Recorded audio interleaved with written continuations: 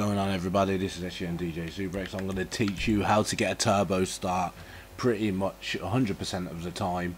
It's really easy and once you figure out how to do it, it's literally that easy. You can practice doing it, go into your own little session, whatever, doesn't matter. Play the game. What you want to do is you want to get yourself a custom vehicle. Make sure custom vehicles are on when you're making your race. Custom Bati bike.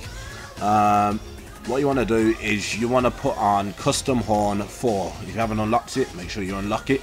It's custom horn 4 so when you start the race as you all obviously do the race but when you see the number 3 come up on the screen you need to press your horn. So the number 3 comes up and as soon as the horn is finished that's when you press the accelerator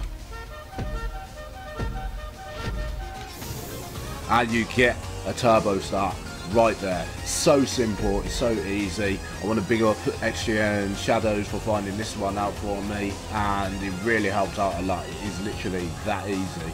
That's how you get a turbo start pretty much 100% of the time. I've done it the last three times and got a turbo start.